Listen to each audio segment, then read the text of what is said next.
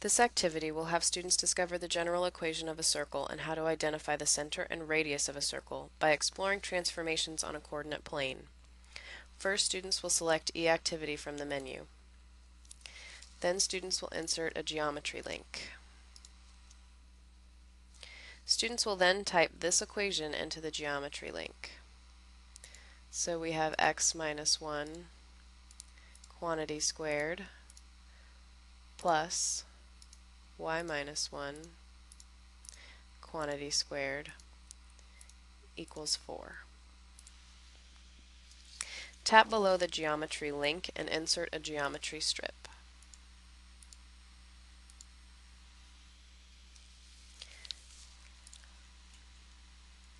Now students will tap this button to turn on the axes and integer grid.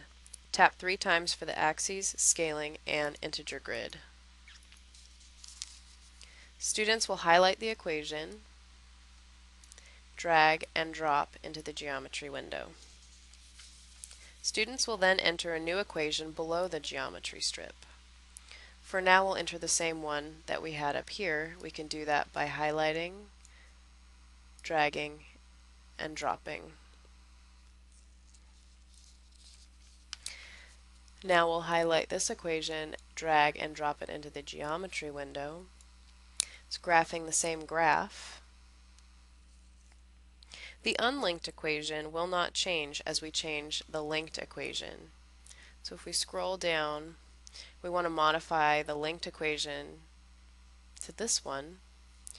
We simply change the 1 to a 2, press EXE, and the transform circle graphs.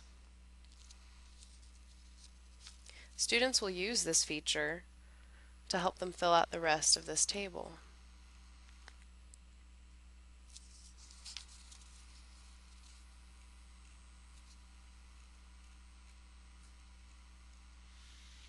Students will then answer some questions about the results they obtained from completing the activity.